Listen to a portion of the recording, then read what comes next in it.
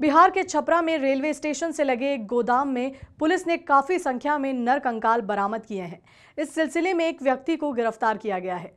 Police उपाधीक्षक railway के मुताबिक पूर्वी चंपारण ज़िले के निवासी संजय प्रसाद के पास से यह नर कंकाल बरामद किए गए हैं। आरोपी को जीआरपी की टीम ने छपरा जंक्शन से गिरफ़्तार किया है।